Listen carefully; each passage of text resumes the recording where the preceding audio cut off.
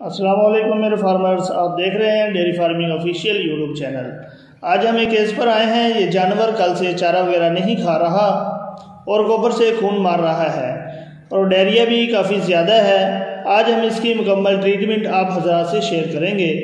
اور ایک بات آپ کو بتاتا چلوں، جو میڈیسن آپ کو بتائی جاتی ہیں وہ کسی کمپنی کی تشہیر کے لیے نہیں بتائی جاتی، بلکہ جس میڈیسن کا ہمیں اچھا رزلٹ ملتا ہے وہ ہم آپ حضرات سے شیئر کرتے ہیں۔ میڈیسن کرنے سے پہلے آپ حضرات سے ریکویسٹ ہے کہ ہمارے YouTube channel dairy farming official کو ضرور سبسکرائب کریں۔ پاس والے گھنٹی کے بٹن کو دبا کر آل ویڈیو پر لازمی پریس کر لیں تاکہ ہر نئی آنے والی ویڈیو کا نوٹیفیکیشن آپ کو مصول ہو سکے۔ تو چلتے ہیں ویڈیو کی طرف۔ اس جانور کو جو مسئلہ ہے وہ یہ ہے کہ اس کو انٹسٹائن پرابلم ہے۔